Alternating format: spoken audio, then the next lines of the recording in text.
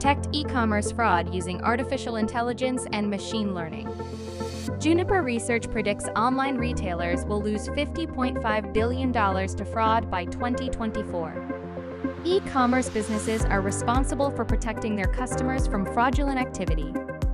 With the advent of AI, we own powerful tools that can help detect potential fraud by analyzing data, identifying patterns, and looking at anomalies. Here are some ways that ML and AI can be applied to e-commerce fraud detection and prevention. Anomaly detection. ML algorithms detect anomalies in transactional data and flag anomalies for investigation. Scoring risks. AI systems assign transaction risk scores based on transaction history, user behavior, geolocation, and device information. Predictive analytics. It uses historical data to predict fraud and help businesses reduce risks. Behavior analysis. AI systems can analyze user behavior to identify fraudulent activity or attempts to take over an existing account.